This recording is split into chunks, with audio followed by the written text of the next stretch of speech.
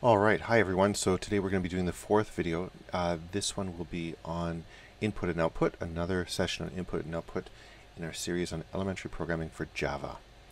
Alright, so uh, here we go. Here's a case study right here, and we want to do something a bit sort of typical of the sort of problems that you would encounter.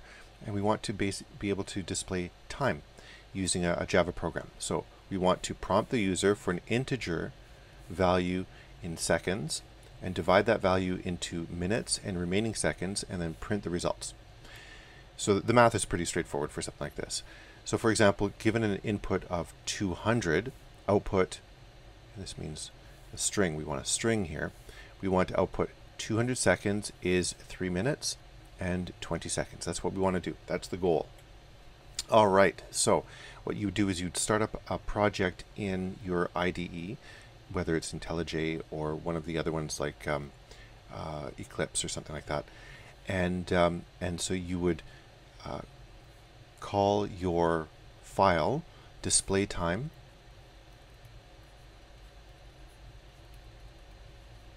dot .java. Okay, that would be the uh, the name of the file, and that means that your your class, the one that you're you're going to be writing here, is called display time and the class begins with this curly brace right here. Just before that, what we're going to do is we're going to import a library for the scanner. Okay, that will allow the user to input values into the program. Now, inside of your class called displayTime, you have the main method. Okay, we can see it right here. So that's the main method right here. And like all main methods that you'll encounter, there is um, the arguments uh, in, or the, the input parameters, sorry, um, for putting in uh, command line arguments uh, when you call it from from the from a terminal. Um, but we won't use that today. Then this is the beginning right here of the main method. We're going to create a new object called input of type scanner. Okay, so it's new right here. All right. Then we're going to prompt the user for input. And so what we do is a call right here we do a system.out.print and then we're going to have a string. The string begins with the double quote, it ends with the other double quote here, and it says enter an integer for seconds, colon, and then there's a space right here. This is going to prompt the user to put in an integer in uh, in, in, in units of seconds. Okay, we they won't have to write the units; they just type in the the integer. All right. Then we're going to um, call the input object, okay, right here. We're going to use it to assign a value into a, a new uh, variable that we called seconds right here. It's of type integer. The object input, you can see the dot right here. The object input is going to use the method called next integer or next int. Okay, and you'll notice that there's these parentheses right here. What this means is that input has a function internal to it. It's method, okay? So in, in Java, we call uh, functions methods. And so defined inside of the input object, which is of type scanner, it has access to a function or a method called next integer. All right, we're going to call it, and that will take whatever the input is from the user, treat it as an integer, and give it to, or assign it to the variable that we're using in our program called seconds. All right, then we're going to say that uh, we need a new variable called minutes. Okay, it's of type integer, and it will be assigned seconds divided by 60. This will give us the value of minutes that was intended by the user when they entered in a number of seconds. Then we're going to figure out how many seconds are left over by using the modulo operator right here. So we're going to create a new variable called remaining seconds. It's going to be of type integer. It's going to be assigned the value that is the result of the operation seconds modulo 60. And that will basically give us the remainder. Okay. then we're going to print things out. So we're going to do system dot out dot print, not print line, print, and then we're going to print out the number of seconds. We're going to concatenate a string right here. Quote, space, seconds, space, is, space, quote. Then we're going to print out, not print line, we're going to print, so we're going to sort of add on just to the right of it, space, minutes, space, and space. And we're going to end the string right there. Then we're going to finish everything off with a print line. So it will insert a next uh, line at the very end.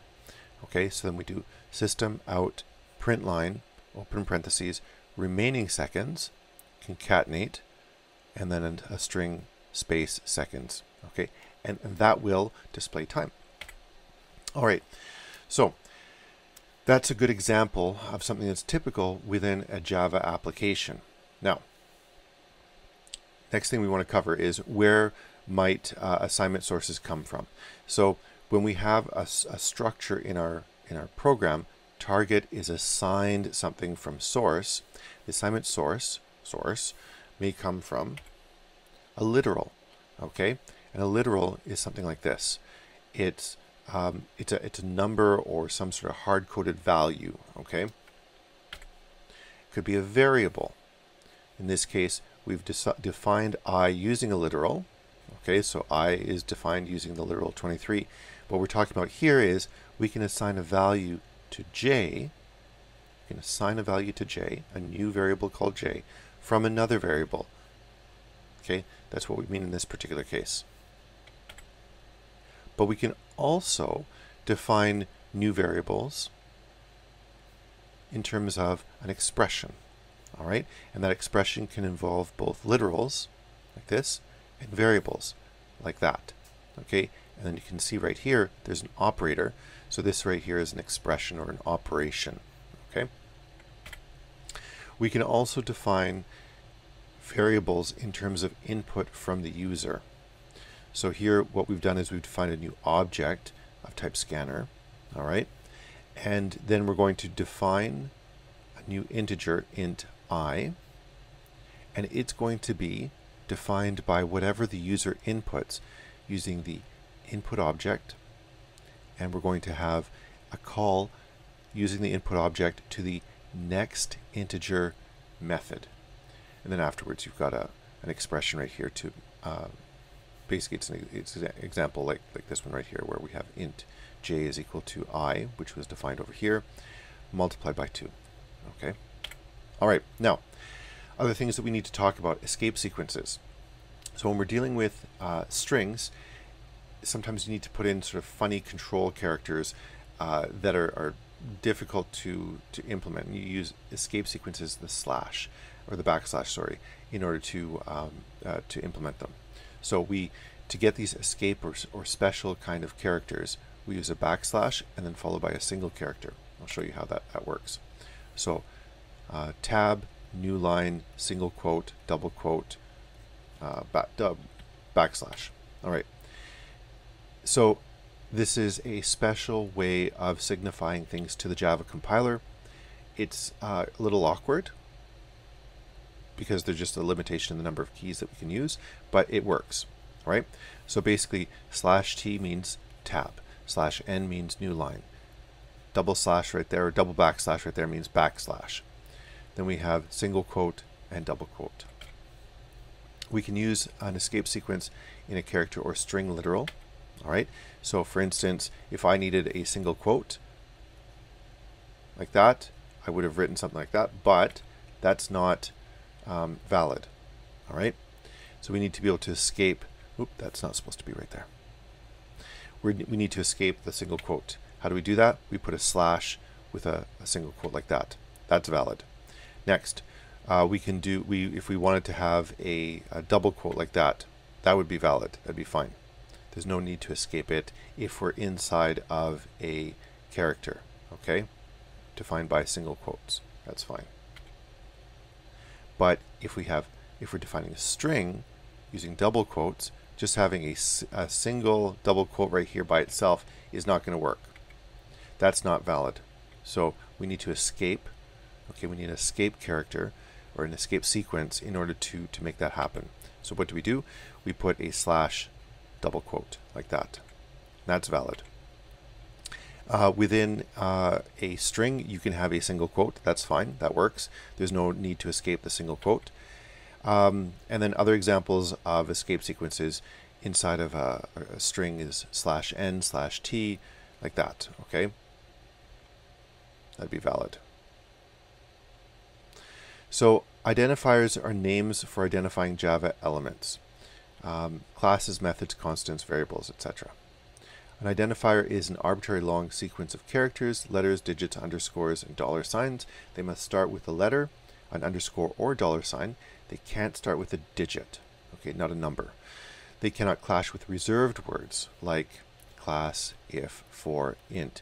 And in programming lang languages like MATLAB, etc., this this is the same thing. It, it, this is a very, very common thing.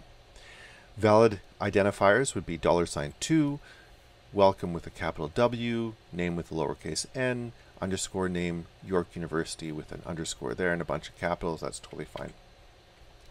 Invalid would be to name or plus York or Toronto at Canada. This would be, these are not valid identifiers. Now, there are other conventions that you'll find in, uh, that are enforced in a lot of ways by the IDEs in, uh, in Java or for, for Java.